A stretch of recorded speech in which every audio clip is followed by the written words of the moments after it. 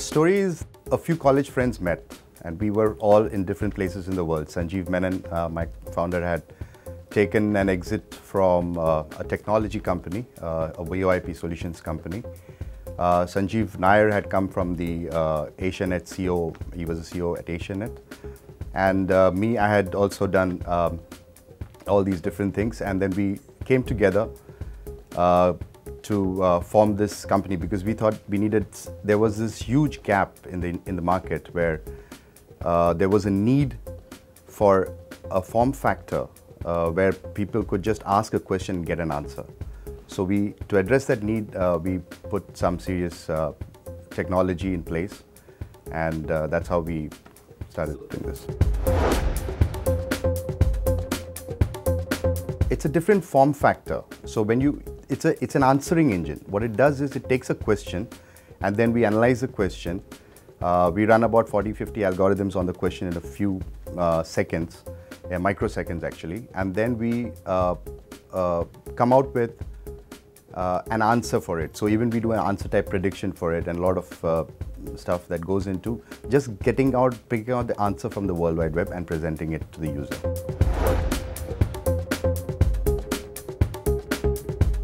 There was a big gap uh, in the market uh, which needed to be filled.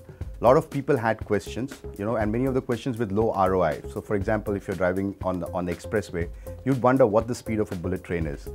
But then you don't want to go and, you know, uh, search. It's too, uh, you know, you have to keep your eyes off the wheel into the. So we wanted a simple form factor where you could just ask a question and directly get an answer. So, so we realized that a lot of people out there uh, would would love this uh, or, or, would love this uh, concept, and we put it out there. Uh, that we validated it in a concept uh, called Pooch, where we had to um, uh, where we asked where we put it out as an SMS form factor, for which, as you are aware, we also won a couple of awards. The Manthan Award for social media. So where we put it out there and a lot of people, we we got about 100,000, 200,000 users using it. Uh, we had about, we were processing about 2.5 million questions every month. So we saw that there's a big gap out there which needed to be, uh, you know, uh, sort of put out there in the form of an, a mobile application. This comes into the search market, which is about a hundred uh, billion dollar market actually. And uh, within that market, uh, we are looking at a small slice of it which would, uh, which would mean that a lot of people looking for a different form factor in search would come to our, would download our application and use it.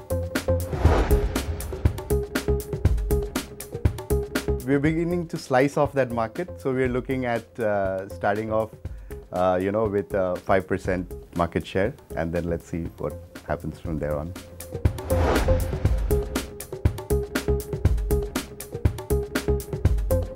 Uh, the biggest catalyst uh, was uh, being part of uh, this uh, GenNext Innovation Hub, where we got to learn a lot from experts in the industry, where we got exposure, where we were able to look at our product. We were so close to it, we could not, you know, understand it, it, it's, it in the context of the market, etc. So we were able to look at our product from 35,000 feet as well. So uh, GenNext and Microsoft helped us to formulate, uh, to understand this product uh, from that perspective as well. And that helped us build in the right features into the product and make the go-to-market much uh, better and stronger.